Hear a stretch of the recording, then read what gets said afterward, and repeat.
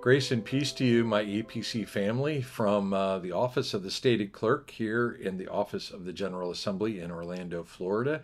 And I want to introduce you to somebody special today. The person to my left is a colleague whom I am privileged to work with.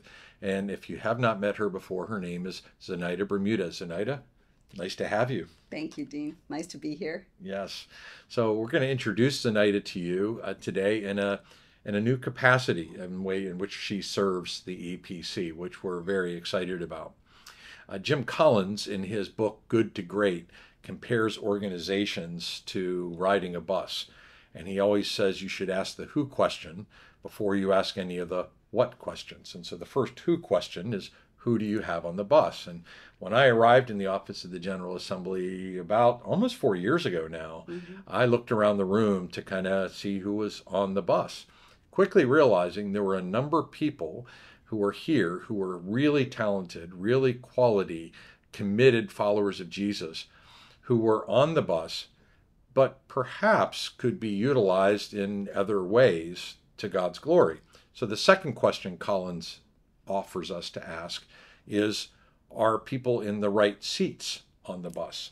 And this one was when I first got here on the seat of an administrative assistant and was killing it doing a fantastic job serving the EPC really well. But I realized that by moving her to another seat on the bus called the Director of Operations, um, she could take some things she had learned and help us improve our serving people. But now I'm telling you, she's moved to her third seat on the bus. Hopefully, you're not getting carsick in doing this. but she's now our executive director of operations for the office of the General Assembly. So, Zenaida, congratulations. Thank you. On your new position. And um, tell us a little bit about, like, from starting in one seat on the bus mm-hmm. as an administrative assistant to now, here you are the executive director of operations. How is sitting on that one seat on the bus going to help you as you serve on this other seat on the OGA bus? Thank you. Yes. So, um, it has served me extremely well. I'm extremely grateful to the Lord for the opportunities of where He started me and where He's brought me to.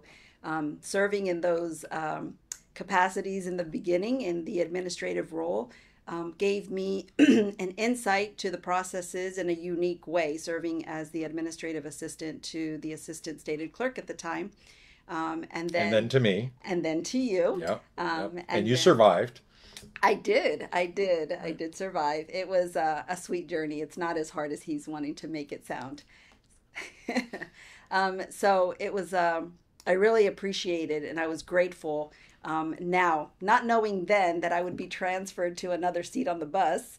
Um, I was grateful looking back at that opportunity to serve in that role because now sitting in this seat, it gives me a different perspective to serve the denomination in a greater capacity you saw what was working, you saw what could be working a little bit better, yeah. and you didn't necessarily have the position to make changes for some of those things. Correct. And now you have a position to change some of those things. Correct. So you've seen what could be improved upon so we could better serve the church. Absolutely. And now you're in a place to actually bring those changes to bear. Yes. Um, that's really exciting for us. It is very exciting. It is very exciting, as we repeatedly say in this office, that we're here to serve those who carry out the Great Commission.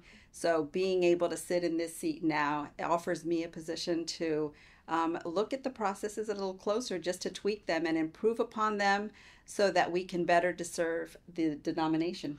So, whether it's benefits or serving our global workers or just regular everyday church questions, yeah um, we're hoping to do a better job of serving you. And yes. one of the ways in which your position is going to help me is that now that we've been working together for a couple of years, um, and we've kind of figured out how we think things in the office can run in a way that serves the denomination well, um, it gives me the ability to get out on the road more, to do more stated clerk things for the denomination so you can do more operational things. So you're playing to your strengths yes. and gifts, and hopefully we're doing that for mine as well. Yes, I think we are. Okay, very good. Well, if you have any questions about the operations of the Office of the General Assembly, ask her.